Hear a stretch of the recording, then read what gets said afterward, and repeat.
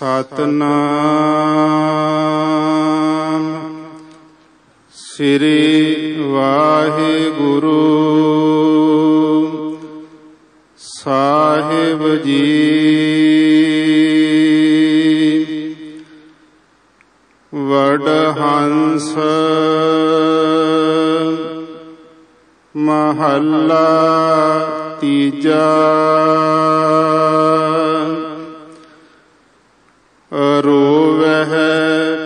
ਰੋਵਹਿ ਪਿਰਹਿ ਮੈਂ ਪਿਰ ਸਚੜਾ ਹੈ ਸਦਾ ਨਾਲੇ। ਜਿਨੀ ਚੱਲਣ ਸਹੀ ਜਾਣਿਆ। ਸਤਿਗੁਰ ਸੇਵਹਿ ਨਾਮ ਸੰਭਾਲੇ। ਰੋਵਹਿ, ਪਿਰਹਿ ਬਿਸ਼ੁੰਨੀਆਂ ਮੈਂ ਪਿਰ ਸਚੜਾ ਹੈ ਸਦਾ ਨਾਲੇ। ਜਿਨੀ ਚੱਲਣ ਸਹੀ ਜਾਣਿਆ। ਸਤਿਗੁਰ ਸੇਵਹਿ ਨਾਮ ਸੰਭਾਲੇ। ਸਦਾ ਨਾਮ ਸੰਭਾਲੇ ਸਤਿਗੁਰ ਹੈ ਨਾਲੇ। ਸਤਿਗੁਰ ਸੇਵ ਸੁਖ ਪਾਇਆ। ਸ਼ਬਦੇ ਕਾਲ ਮਾਰ ਸੱਚ ਉਰ ਧਾਰ। ਫਿਰ ਆਵਣ ਜਾਣ ਨਾ ਹੋਇਆ। ਸੱਚਾ ਸਾਹਿਬ ਸੱਚੀ ਨਾਈ। ਵੇਖੈ ਨਦਰ ਨਿਹਾਲੇ।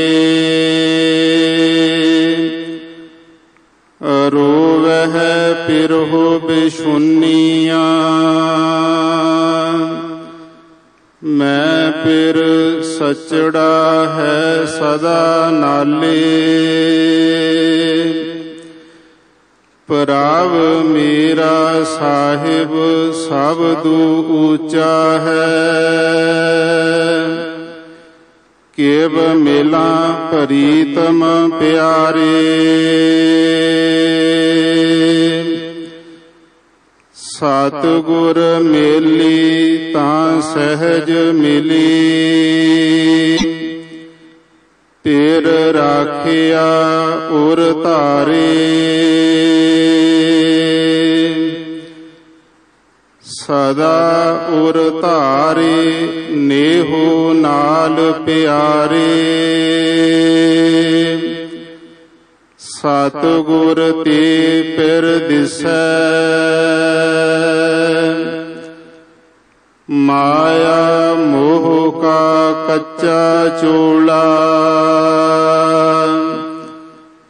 ਤਿਤ ਪੈਦੈ ਪਗ ਖਿਸੈ। ਪੇਰ ਰੰਗ ਰਾਤਾ ਸੋ ਸੱਚਾ ਚੋਲਾ। ਪੈਦੈ ਤਿਖਾ ਨਿਵਾਰੇ। ਪ੍ਰਭ ਮੇਰਾ ਸਾਹਿਬ ਸਭ ਤੋਂ ਉੱਚਾ ਹੈ। ਕਿਉ ਮਿਲਾ ਪ੍ਰੀਤਮ ਪਿਆਰੇ। ਮੈਂ ਪ੍ਰਭ ਸੱਚ ਪਛਾਣਿਆ।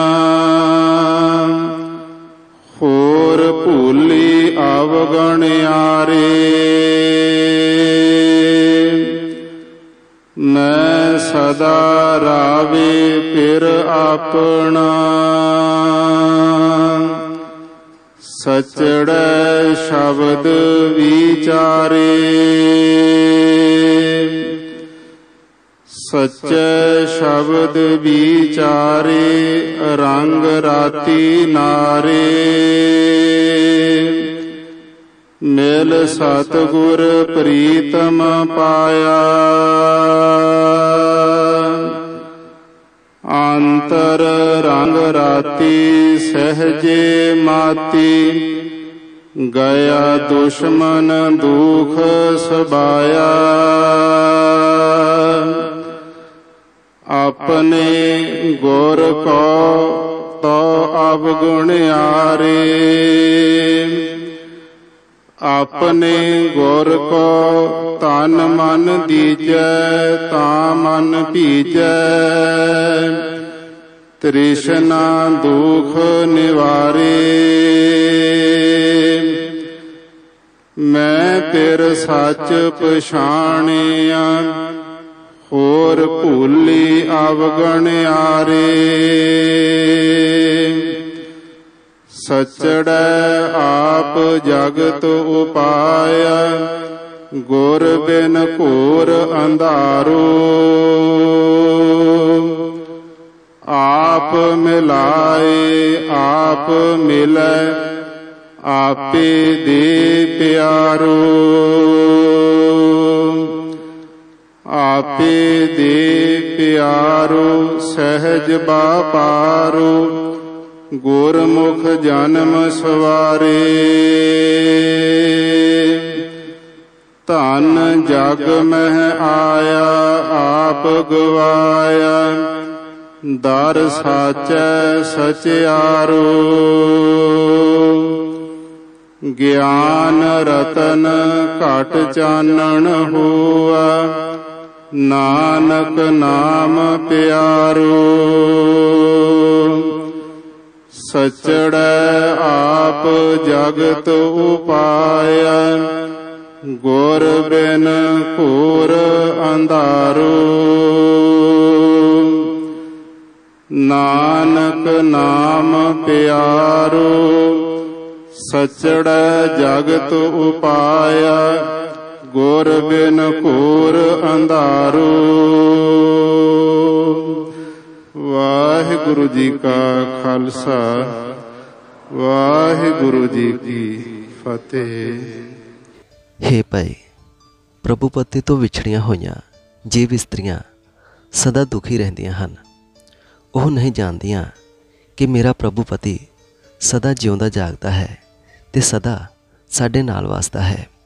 ਹੇ ਭਾਈ ਜਿਨ੍ਹਾਂ ਜੀਵਾਂ ਨੇ ਜਗਤ ਤੋਂ ਆਖਰ ਚਲੇ ਜਾਣ ਨੂੰ ਠੀਕ ਮੰਨ ਲਿਆ ਹੈ, ਉਹ ਪਰਮਾਤਮਾ ਦਾ ਨਾਮ ਹਿਰਦੇ ਵਿੱਚ ਵਸਾ ਕੇ ਗੁਰੂ ਦੀ ਦਸੀ ਸੇਵਾ ਕਰਦੇ ਹਨ।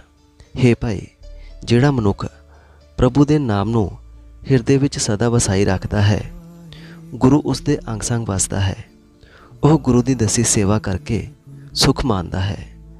ਗੁਰੂ ਦੇ ਸ਼ਬਦ ਦੀ ਬਰਕਤ ਨਾਲ ਮੌਤ ਦੇ ਡਰ ਨੂੰ ਦੂਰ ਕਰਕੇ ਉਹ ਮਨੁੱਖ ਸਦਾ ਥਿਰ ਪ੍ਰਭੂ ਨੂੰ ਆਪਣੇ ਹਿਰਦੇ ਵਿੱਚ ਵਸਾਉਂਦਾ ਹੈ। ਉਸ ਨੂੰ ਮੁੜ ਜਨਮ ਮਰਨ ਦਾ ਗੇੜ ਨਹੀਂ ਵਿਆਪਦਾ। ਹੇ ਭਾਈ, ਮਾਲਕ ਪ੍ਰਭੂ ਸਦਾ ਕਾਇਮ ਰਹਿਣ ਵਾਲਾ ਹੈ। ਉਸ ਦੀ ਵਡਿਆਈ ਸਦਾ ਕਾਇਮ ਰਹਿਣ ਵਾਲੀ ਹੈ। ਉਹ ਮੇਰ ਦੀ ਨਿਗਾਹ ਕਰਕੇ ਸਭ ਜੀਵਾਂ ਦੀ ਸੰਭਾਲ ਕਰਦਾ ਹੈ। ਪਰ ਪ੍ਰਭੂ ਪਤੀ ਤੋਂ ਵਿਛੜੀਆਂ ਹੋਈਆਂ ਜੀਵ ਇਸਤਰੀਆਂ ਸਦਾ ਦੁਖੀ ਰਹਿੰਦੀਆਂ ਹਨ। ਉਹ ਨਹੀਂ ਜਾਣਦੀਆਂ ਕਿ ਮੇਰਾ ਪ੍ਰਭੂ ਪਤੀ ਸਦਾ ਜਿਉਂਦਾ ਜਾਗਦਾ ਹੈ ਤੇ ਸਦਾ ਸਾਡੇ ਨਾਲ ਵਸਦਾ ਹੈ। ਹੇ ਭਾਈ, ਮੇਰਾ ਮਾਲਕ ਪ੍ਰਭੂ, ਸਭਨਾਂ ਨਾਲੋਂ ਉੱਚਾ ਹੈ। ਪਰ ਮੈਂ ਜੀਵ ਇਸਤਰੀ, ਬੜੇ ਨੀਵੇਂ ਜੀਵਨ ਵਾਲੀ ਹਾਂ। ਮੈਂ ਉਸ ਪਿਆਰੇ ਪ੍ਰੀਤਮ ਨੂੰ ਕਿਵੇਂ ਮਿਲ ਸਕਦੀ ਹਾਂ? ਜਦੋਂ ਗੁਰੂ ਨੇ ਕਿਸੇ ਜੀਵ ਇਸਤਰੀ ਨੂੰ ਉਸ ਪ੍ਰਭੂ ਵਿੱਚ ਮਿਲਾਇਆ, ਤਾਂ ਉਹ ਆਤਮਕ ਅਡੋਲਤਾ ਵਿੱਚ ਟਿਕ ਕੇ ਪ੍ਰਭੂ ਨਾਲ ਮਿਲ ਗਈ। ਉਸ ਜੀਵ ਇਸਤਰੀ ਨੇ ਪ੍ਰਭੂ ਪਤੀ ਨੂੰ ਆਪਣੇ ਹਿਰਦੇ ਵਿੱਚ ਵਸਾ ਲਿਆ ਉਹ ਜੀਵ ਇਸਤਰੀ ਪ੍ਰਭੂ ਨੂੰ ਸਦਾ ਆਪਣੇ ਹਿਰਦੇ ਵਿੱਚ ਵਸਾਈ ਰੱਖਦੀ ਹੈ। ਉਹ ਸਦਾ ਪਿਆਰੇ ਪ੍ਰਭੂ ਨਾਲ ਪਿਆਰ ਬਣਾਈ ਰੱਖਦੀ ਹੈ। हे ਭਾਈ, ਗੁਰੂ ਦੀ ਰਾਹੀਂ ਹੀ ਪ੍ਰਭੂ ਪਤੀ ਦਾ ਦਰਸ਼ਨ ਹੁੰਦਾ ਹੈ। ਮਾਇਆ ਦਾ ਮੋਹ ਮਨੋ ਕੱਚੇ ਰੰਗ ਵਾਲਾ ਚੋਲਾ ਹੈ। ਜੋ ਇਹ ਚੋਲਾ ਪਹਿਨੀ ਰੱਖੀਏ, ਆਤਮਿਕ ਜੀਵਨ ਦੇ ਪੈਂਡੇ ਵਿੱਚ ਮਨੁੱਖ ਦਾ ਪੈਰ ਡੋਲਦਾ ਹੀ ਰਹਿੰਦਾ ਹੈ। ਪ੍ਰਭੂ ਪਤੀ ਦੇ ਪ੍ਰੇਮ ਰੰਗ ਵਿੱਚ ਰੰਗਿਆ ਹੋਇਆ ਚੋਲਾ ਪੱਕੇ ਰੰਗ ਵਾਲਾ ਹੈ। ਜੇ ਇਹ ਚੋਲਾ ਪਹਿਨ ਲਈਏ, ਤਾਂ ਪ੍ਰਭੂ ਦਾ ਪਿਆਰ ਮਨੁੱਖ ਦੇ ਹਿਰਦੇ ਵਿੱਚੋਂ ਮਾਇਆ ਦੀ ਤ੍ਰਿਸ਼ਨਾ ਦੂਰ ਕਰ ਦਿੰਦਾ ਹੈ। ਹੇ ਭਾਈ, ਮੇਰਾ ਮਾਲਕ ਪ੍ਰਭੂ ਸਭਨਾਂ ਨਾਲੋਂ ਉੱਚਾ ਹੈ। ਪਰ ਮੈਂ ਜੀਵ ਇਸਤਰੀ ਬੜੇ ਨੀਵੇਂ ਜੀਵਨ ਵਾਲੀ ਹਾਂ। ਮੈਂ ਉਸ ਪਿਆਰੇ ਪ੍ਰੀਤਮ ਨੂੰ ਕਿਵੇਂ ਮਿਲ ਸਕਦੀ ਹਾਂ? ਗੁਰੂ ਨੇ ਮੇਰੇ ਉੱਤੇ ਮਿਹਰ ਕੀਤੀ, ਤਾਂ ਮੈਂ ਸਦਾ ਕਾਇਮ ਰਹਿਣ ਵਾਲੇ ਪਰਮਾਤਮਾ ਨਾਲ ਸਾਂਝ ਪਾ ਲਈ ਜਿਸ ਨੂੰ ਗੁਰੂ ਦਾ ਮਿਲਾਪ ਨਸੀਬ ਨਾ ਹੋਇਆ, ਉਹ ਔਗਣਾ ਵਿੱਚ ਫਸੀ ਰਹੀ ਤੇ ਪ੍ਰਭੂ ਚਰਨਾਂ ਤੋਂ ਖੁੰਝੀ ਰਹੀ। ਗੁਰੂ ਦੇ ਸ਼ਬਦੀ ਰਾਹੀਂ ਸਦਾ ਥਿਰ ਰਹਿਣ ਵਾਲੇ ਪਰਮਾਤਮਾ ਦੇ ਗੁਣਾਂ ਦੀ ਵਿਚਾਰ ਕਰਨ ਕਰਕੇ ਮੇਰਾ ਪ੍ਰਭੂ ਪਤੀ ਮੈਨੂੰ ਸਦਾ ਆਪਣੇ ਚਰਨਾਂ ਵਿੱਚ ਜੋੜੀ ਰੱਖਦਾ ਹੈ। ਜਿਹੜੀ ਜੀਵ ਇਸਤਰੀ ਗੁਰੂ ਦੇ ਸ਼ਬਦੀ ਰਾਹੀਂ ਸਦਾ ਸਥਿਰ ਪ੍ਰਭੂ ਦੇ ਗੁਣਾਂ ਦੀ ਵਿਚਾਰ ਆਪਣੇ ਮਨ ਵਿੱਚ ਵਸਾਈ ਰੱਖਦੀ ਹੈ। ਉਹ ਪ੍ਰਭੂ ਦੇ ਪ੍ਰੇਮ ਰੰਗ ਵਿੱਚ ਰੰਗੀ ਰਹਿੰਦੀ ਹੈ। ਗੁਰੂ ਨੂੰ ਮਿਲ ਕੇ ਉਹ ਪ੍ਰੀਤਮ ਪ੍ਰਭੂ ਨੂੰ ਆਪਣੇ ਅੰਦਰ ਹੀ ਲੱਭ ਲੈਂਦੀ ਹੈ। ਉਹ ਆਪਣੇ ਅੰਤਰ ਆਤਮੇ ਪਰਮਾਤਮਾ ਦੇ ਪਿਆਰ ਰੰਗ ਵਿੱਚ ਰੰਗੀ ਰਹਿੰਦੀ ਹੈ। ਉਹ ਸਦਾ ਆਤਮਿਕ ਅਡੋਲਤਾ ਵਿੱਚ ਮਸਤ ਰਹਿੰਦੀ ਹੈ। ਵਿਕਾਰ ਆਦਿਕ ਉਸ ਦਾ ਹਰੇਕ ਵੈਰੀ ਤੇ ਦੁੱਖ ਦੂਰ ਹੋ ਜਾਂਦਾ ਹੈ। ਹੇ ਭਾਈ, ਇਹ ਸਰੀਰ ਤੇ ਇਹ ਮਨ ਆਪਣੇ ਗੁਰੂ ਦੇ ਹਵਾਲੇ ਕਰ ਦੇਣਾ ਚਾਹੀਦਾ ਹੈ। ਜਦੋਂ ਤਨ ਮਨ ਗੁਰੂ ਨੂੰ ਦੇ ਦਈਏ, ਤਦੋਂ ਮਨ ਹਰੀ ਨਾਮ ਰਸ ਨਾਲ ਰਸ ਜਾਂਦਾ ਹੈ।